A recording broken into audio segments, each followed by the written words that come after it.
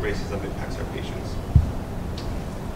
One of the other major reasons that I kept on coming back to this topic was that the amount of diversity inclusion that we see at Kings County is really unique and special. Um, at this institution, there are people of color that occupy every space of, of power, of, um, you know, whether it's physicians, whether it's residents, whether it's staff or patients, we know we all reflect each other. And I think it's an incredible, powerful, incredibly powerful experience and one that not many residency programs get to experience and not one that many people get to experience really. So moving forward, I hope to take some of the lessons uh, that I learned at County regarding diversity and the importance of inclusion, and also the importance of understanding um, health disparities with me as we go forward. And hopefully I can convey some of those lessons to you. And as we transition into different roles and different um, institutions, we can take some of those lessons with us. So my, here's a quick outline of my senior lecture and this is a candid shot of me putting my lecture together. Uh, we're going to comb, comb, over some of the basic principles around uh, the theory, uh, theories and uh, frameworks of racism. I'm going to be putting in uh, some historical perspectives, tie in uh, how that impacts us today, and tease out what structural racism is and how it works. I'm going to spend some time defining racism, um, what it means for healthcare providers, and more importantly for our patients. And then we're going to switch gears a little bit and talk about implicit bias and how this affects our decision making as, uh, as physicians.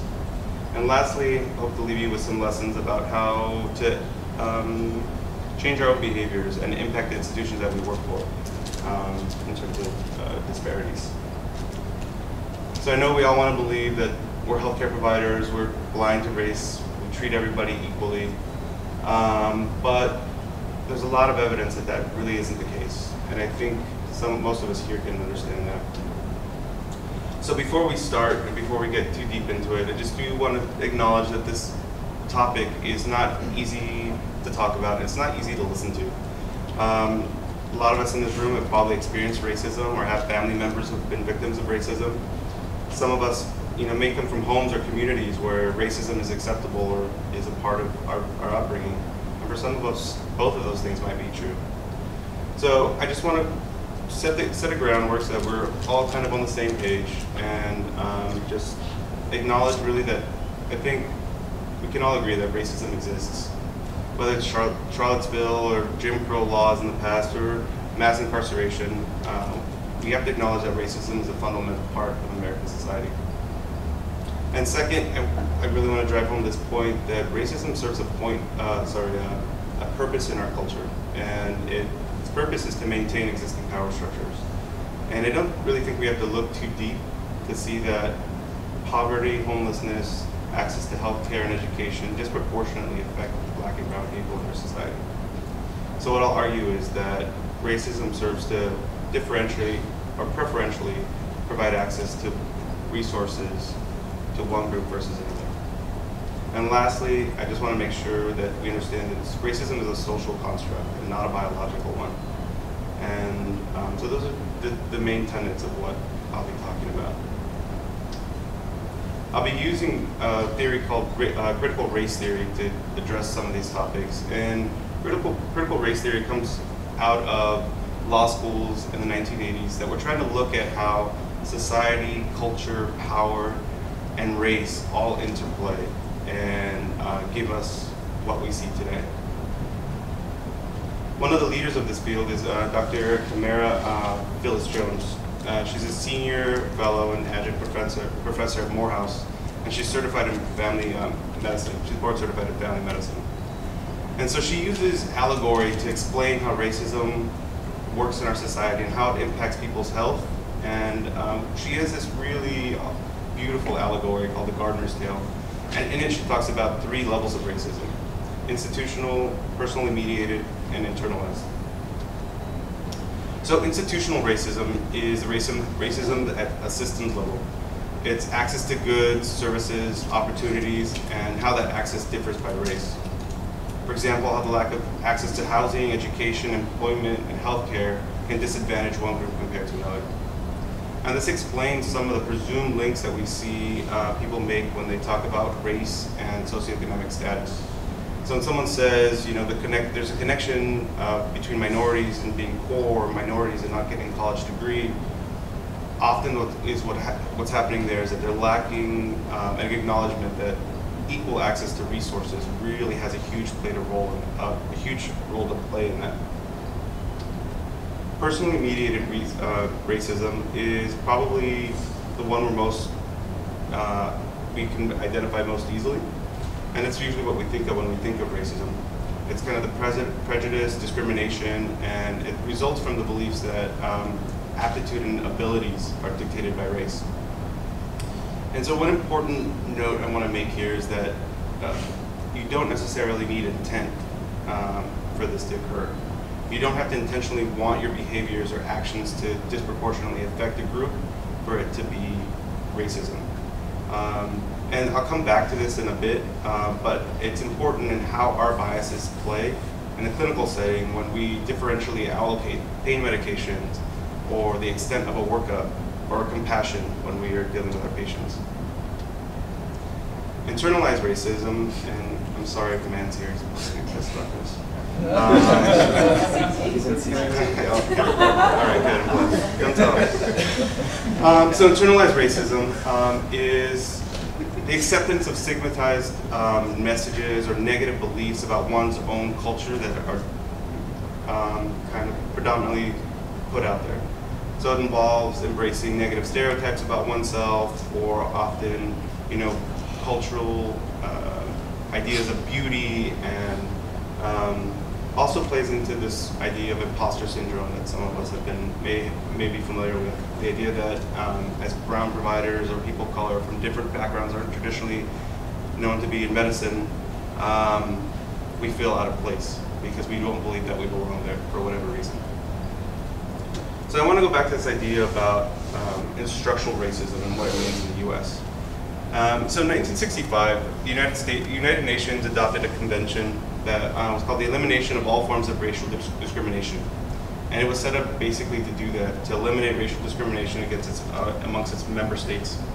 And in 2008, it put out a in-depth analysis of how the U.S. was doing in regards to institutional racism. And you can kind of guess what it found. Um, first, it called out the U.S. in, in, saying that it really wasn't holding up um, its end of the bargain in terms of combating institutional racism, and was actually moving backwards over time, um, in striking things down like affirmative action or Voting Rights Act, or um, failing to address income inequality and access to resources. Second, it outlined um, some very um, unique things in the Constitution and, and U.S. law in particular that allowed this to happen. So bear in mind, I'm, not a legal scholar, but I've done some research into this, and I, I want to explain a little bit more about this. So the 14th Amendment of the Constitution, um, its clause in that um, amendment establishes equal protection. Um, it ensures that the same rights and privileges protection, and protections are afforded to all the U.S. citizens. Um, and it was really instrumental in arguing uh, Brown versus Board of Education, which struck down school segregation. But over the years and since that um, landmark case, um, in the 70s, the Supreme Court found that you know you don't you could you're allowed the government is allowed to um, enact discriminatory laws at law as as long as it does so unintentionally. So what this means is that you have to prove in order to prove that the government is discriminating against you, whether it's for race or gender or sexuality, you have to do you have to prove that it's doing so intentionally. So it's really hard to prove intent in court, as we've seen with the obstruction of justice um, case against President Trump. And not only is it really hard to prove intent, it fails to acknowledge that a law or policy can be racist without setting out to be racist. And so rather than go too much uh, deeper into um, that, I'd like to give you some examples of how this plays out. So in terms of education, um, there's a case, San Antonio versus Rodriguez. And so I'm not sure how many of you guys know this, but public school public schools in the United States are funded by uh, local property taxes. Uh, so what this means is that poorer schools get less funding um, and richer schools get more funding. So in 1973, uh, Parents um, Advocacy Group uh, took San Antonio School District to court, saying that this funding structure um, violated their children's equal protections um, under the 14th Amendment. And essentially, parents are saying, you know, our kids are largely brown and minority kids, and they're not getting the same advantages as our neighbors who live in predominantly white, affluent neighborhoods. Um, and the Supreme Court found against the patient, uh, sorry, the uh, parents. It said that equal access to education wasn't guaranteed under the Constitution, and therefore equal access to, access to it was also not guaranteed. And it also found that because the parents couldn't prove that the funding structure, namely local tax laws, weren't set out in name to be racist or discriminatory, that they had they didn't have a case. And so this uh, precedent set forward, you know, a lot of the inequality that we see in our public health uh, public school system, and you know, has really limited for a lot of people access to what that ed, uh, access to things that access to things that that education provides, like um, access to college, better paying jobs, and social mobility. Uh, the second example I'll give uh, refers to housing in the U.S. Um, so the Homeowners Association and the Federal Housing Authority were governmental agencies that were responsible for um, insuring home loans. Um, up until the 1950s, these guys were federal agencies and they had explicit um, law, um, written protocols that prohibited banks from lending to black and brown um, individuals. They said minorities bring down property value, so they instructed banks not to lend to them or they wouldn't insure those loans. Um, and while like up until the 50s, well, in the 50s, those were struck down from uh, the federal authorities. Up until the 70s, local community, uh, local community banks and cities would still use these practices in deciding who could get a home loan. So you might think, like, well, that was in the 70s. How does that have an impact on what we, what's going on now? But it turns out home ownership is a really big deal, and not just for the people who own the home and get to live in it, but for future generations. So um, we have to ask ourselves, you know, who was buying houses in 1950s, 60s, and 70s, being potentially turned away from getting a, a home loan. And for many of us, it's our grandparents and our parents. And so if you were a white person trying to get a house back in the 50s, 60s, or 70s, you're more, more likely to get a home loan. And not necessarily because your home loan officer was a racist, but because it was dictated to them by federal authorities that they could not give you a loan. And so as you flash forward and you look at how property values increase and how communities were able to use that money to buy second homes, reinvest in um, themselves, get college educations, um, reinvest in retirement, and grow their wealth, communities of color were kept out of these uh, opportunities and were stuck renting in poor neighborhoods with low access to um, education, healthcare, um, and I think we have to ask ourselves, you know, if how many more people of color would we have seen in our universities, in our medical school educations, if their grandparents and parents had had the same access to wealth that white communities did. So these, I just want to make the point that these policies have real impact. Um, they're still around. Um, I was just listening to a piece on NPR the other day about how zoning laws in Connecticut had made it one of the most um, segregated and highest in terms of income inequality in the country. They won't let higher density move in, and what that translates to is people of lower means and typically people color can't move in to affluent neighborhoods to get access to those resources. So it's still alive and well today. And you know, the list goes on and on. Um, when you talk about criminal justice and the war on drugs, or police brutality, or voter suppression, and it just keeps going on and on. And I won't, I can't provide an endless list of statistics, but I won't, because some of you guys are starting to look like these guys. And, and even more to look like this guy.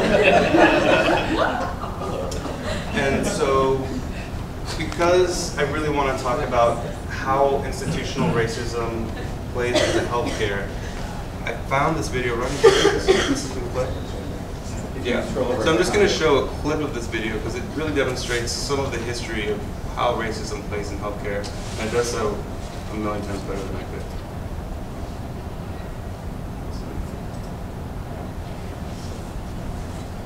down.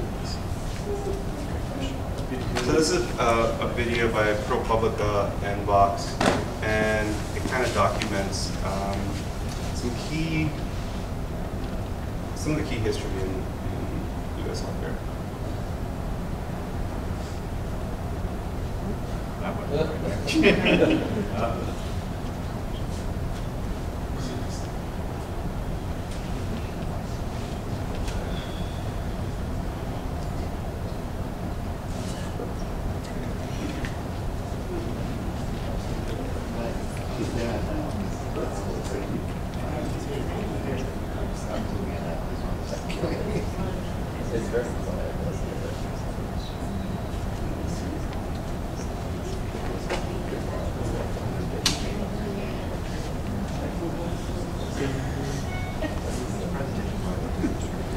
Sorry, guys.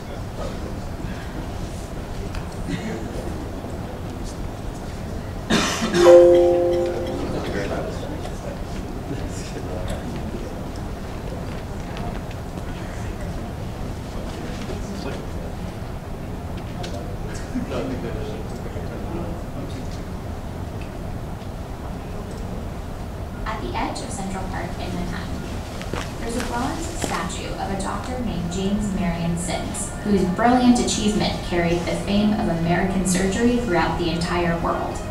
He's the guy who created the vaginal speculum, an instrument gynecologists use for examination. He pioneered the surgical repair for fistula, a complication from childbirth, and became known as the father of modern gynecology. But that brilliant achievement was the result of a series of excruciating experimental surgeries that he conducted on enslaved women.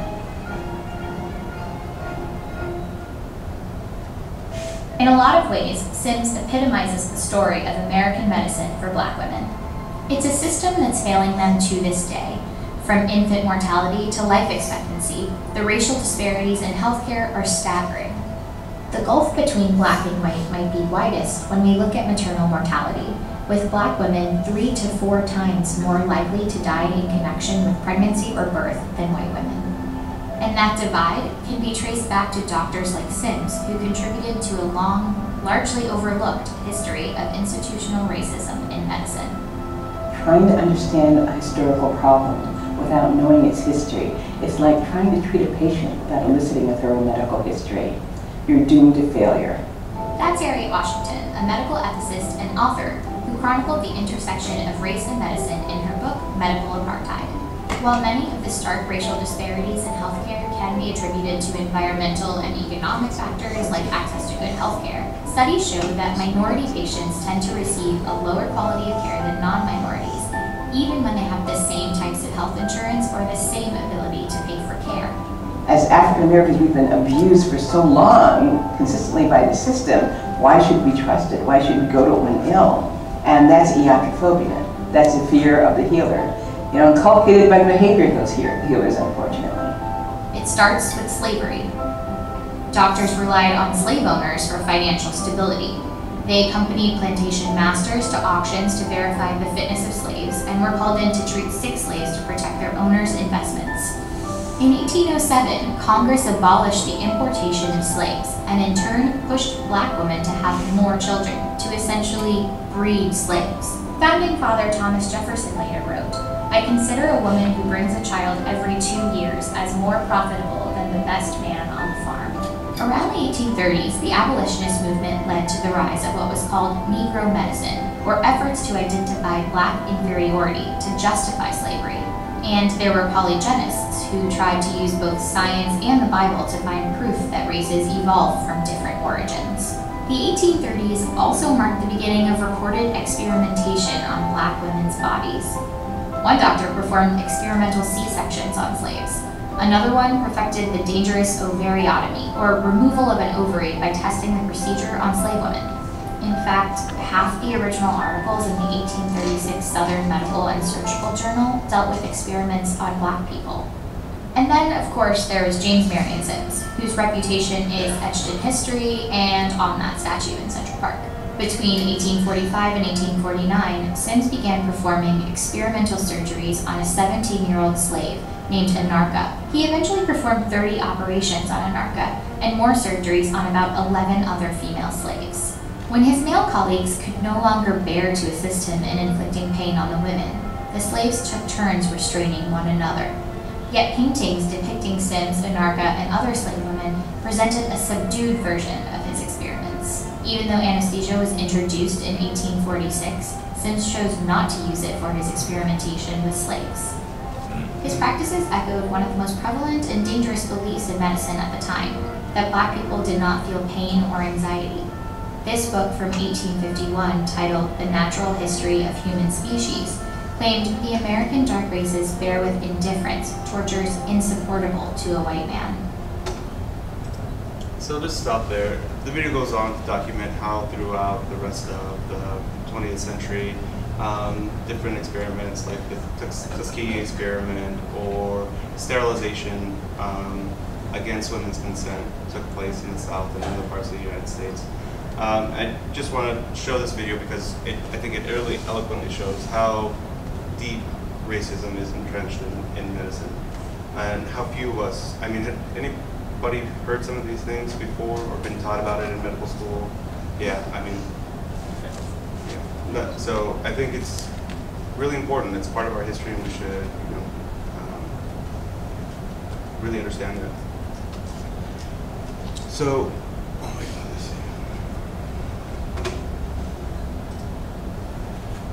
So I want to go forward now and talk about how we understand how racial disparities in healthcare exist today. Um, and one thing I'll use is a report by the Institute of Medicine that was done in 1999. Um, Congress asked the Institute to look at racial disparities, how- how they exist in healthcare. Uh, they were asked to um, kind of find out why, uh, if healthcare disparities existed across race um, that weren't attributable, attributable to factors such as access to healthcare, ability to pay, and insurance coverage, among other factors. Uh, they were asked to evaluate potential uh, sources of racial and ethnic disparities in healthcare and the role of bias, discrimination, and stereotyping, both at the individual patient provider level and the systems level.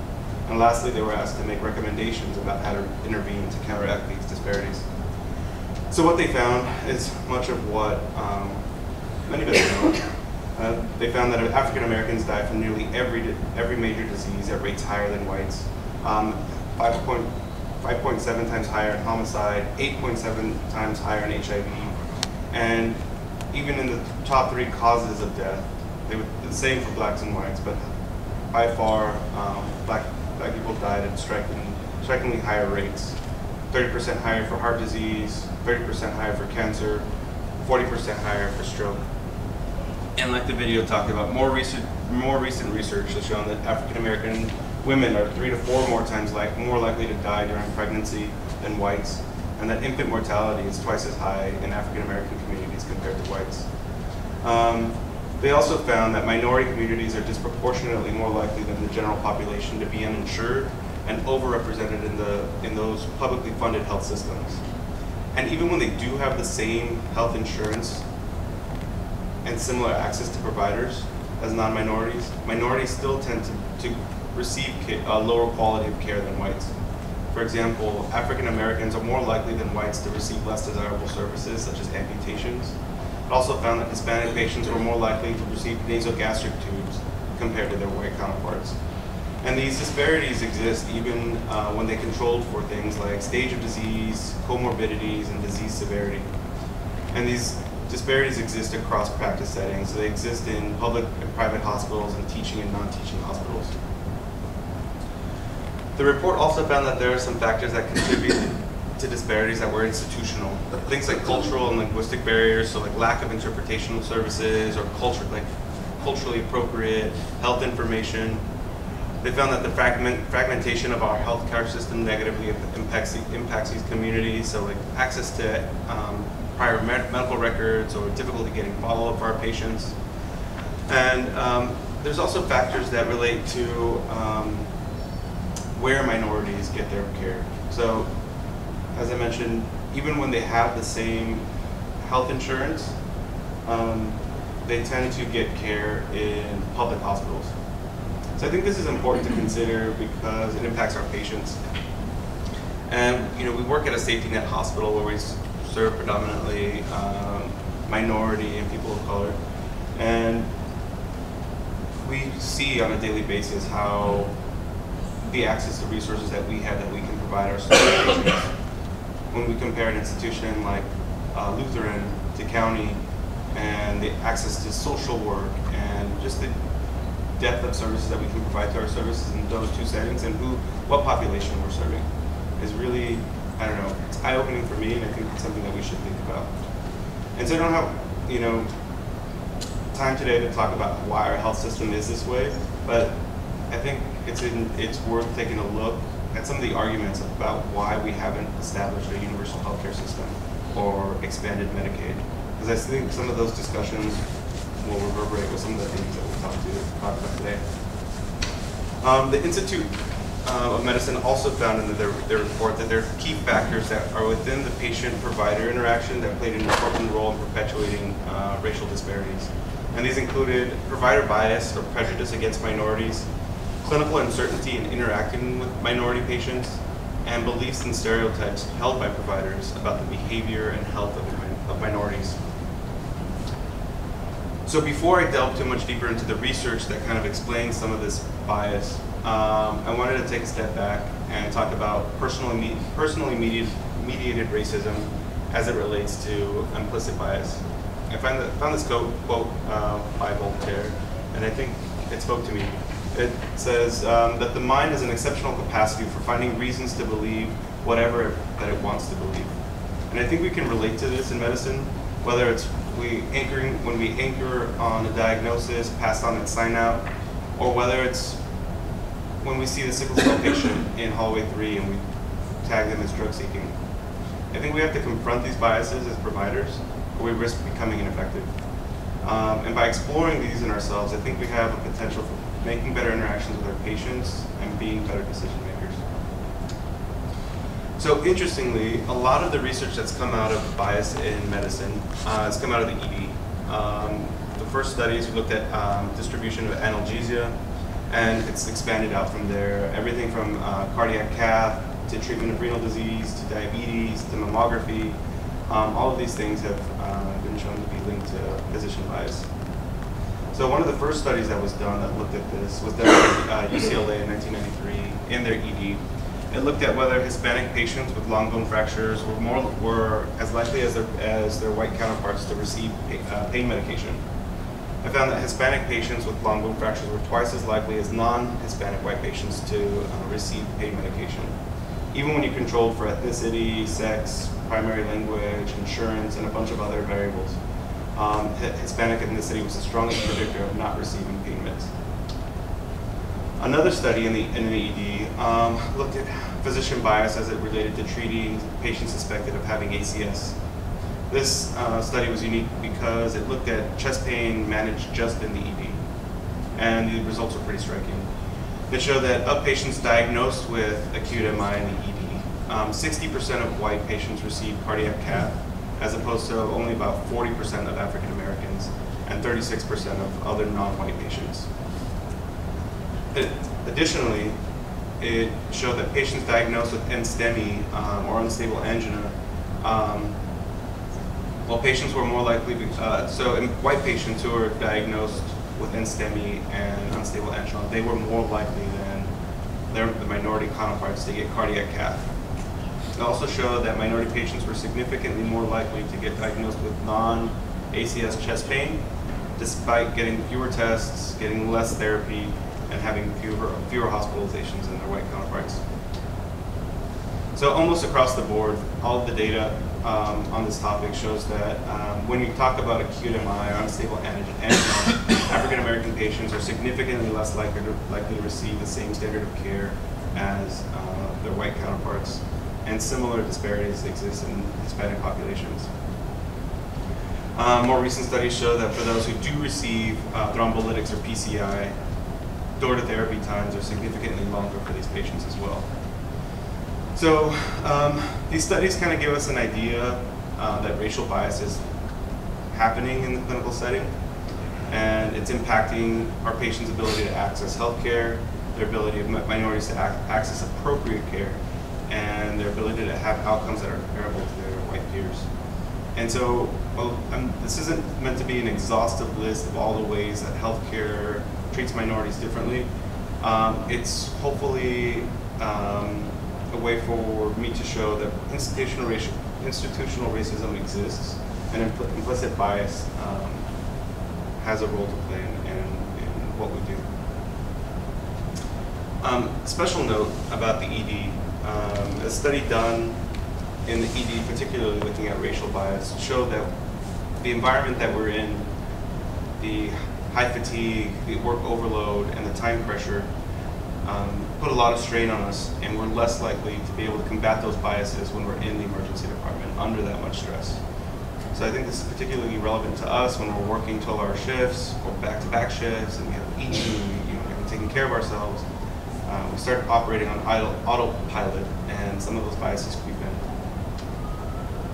So forward action, what, what can we do about uh, racial bias and um, implicit bias? So I think we have to commit to recognizing that the experiences of our patients and colleagues are different, and we have to take those differences into historical and political context. We have to confront our own biases and understand how they affect our clinical decision making, and we have to strive to deliver care that's equitable, as equitable as possible. Uh, we have to eliminate healthcare disparities within our hospital systems wherever we end up working, and we have to promote a diverse workforce um, at every level, whether it's undergraduate or med school or residency and beyond. Because I think this diverse workforce, it's a diverse workforce that helps us develop the sensitivities that we need to be able to interact with our patients in um, the least biased way as possible. And I'll say here that this is one of the things that I'm most proud of having graduated from Kings County. Because I think this is one of the few places um, that will see that level of diversity at every level. And um, I think it's a really special thing. And I hope as we move forward and take leadership positions at other institutions, we'll, we'll be encouraged to advocate for more education on racism, diversity, and inclu- inclusion as part of medical education and resident training. So in summary, I hope I've convinced you that institutional racism and implicit bias exists, that it impacts our patients and our patients' health in meaningful ways, and that we have a personal responsibility to address the inequalities that face our patients. And as one final last note, I just want to say how grateful I am to all the faculty, the residents, the staff, and especially the patients for helping me, helping me survive these four years. Um, they've been insane. But I'm, I think I'm a stronger, more compassionate, more capable phys- physician for having experienced them. So, thank you.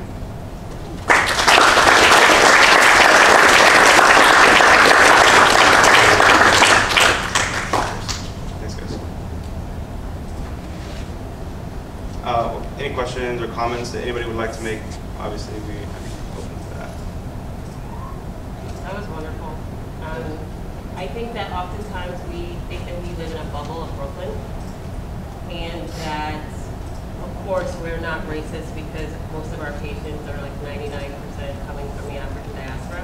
That is absolutely not true, and it's not the intent, but we do perpetuate um, institutional racism, and, and we, we've all done it, even if we are the same color of, of our patients.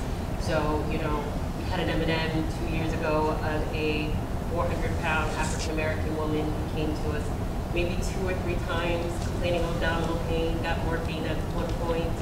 Um, and the last time she came, she made a huge scene, threw herself on the floor, and we called security to escort her out. And someone finally realized she lost her pulse. She died, and on autopsy, they figured out that she had an IVC clot, or no, actually it was an iliac clot, and it eventually spread for the week that she repeatedly came in, and we had labeled her, even in her chart, it said Um, you know, if we didn't mean to, even with the sickle cell patients, right, and we, we create policies that are reducing the amount of opiates we give them, but it's sickle cell, you know, policies, and then you have someone who maybe has a back pain of a different race, and they might be addicted to opiates too, but if you label it a sickle cell, you know, policy, then that really does create an institutional racism, right, disparity. Um, which is why, for those of you who, you know, were a part of it, like I was pushing, like we cannot call this just for the sickle cell patients. It has to be for all chronic pain patients. Otherwise, we are perpetuating things that we don't want. So we can't, you know, be devoid of it. We're not immune to it. But if you recognize it, it's human nature. But if you recognize it and try to address it, then then you are the, the better because of it. You are the better position because of it. Um, but we all do it. Yeah, the, the us and them is a is a powerful, powerful thing. And uh, growing up in the South, uh, it was you know it's all around you.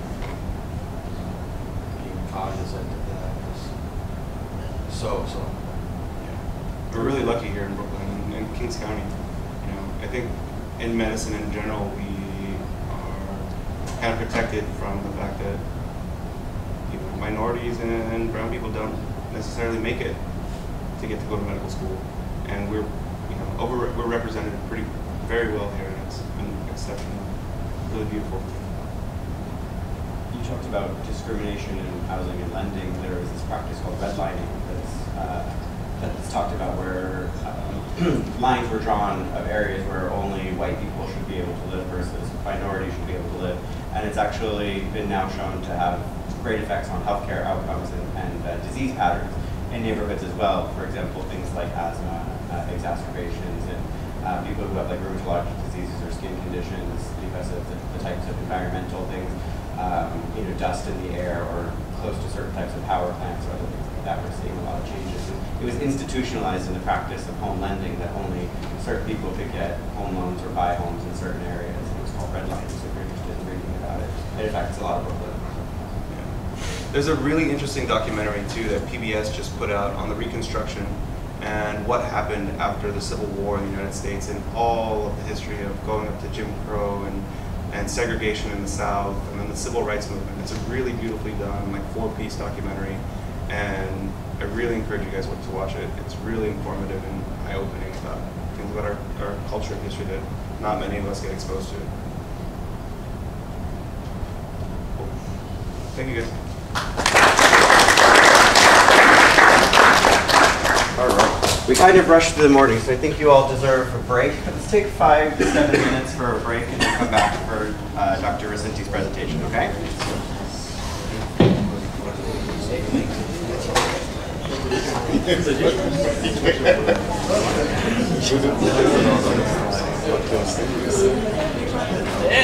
But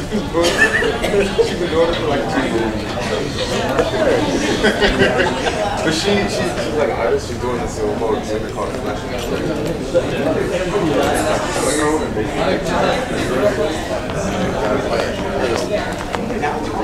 Are you on, are you on the share drive are you on just Without, without, like it. Like calling